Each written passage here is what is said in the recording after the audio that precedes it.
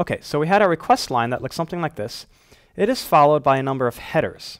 Headers have this format. Name, colon, space, value. Let's add some headers. When you make a request, all of this is sent at once. The request line, followed by a number of headers. These aren't the only headers that are sent, but these are some of the more popular ones. The first one is called host, and this is from the URL. This is the host part of the URL.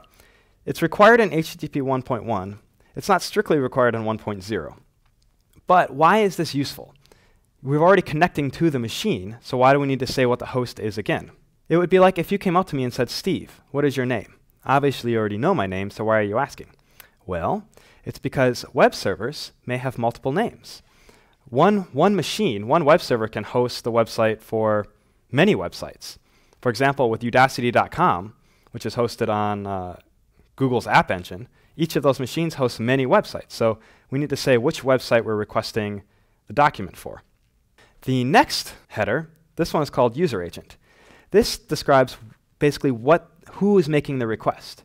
This is generally your browser. Your browser will put its name in there, and there's also some, some version info and things like that. And this is really helpful for the server so they know what type of machine is making the request.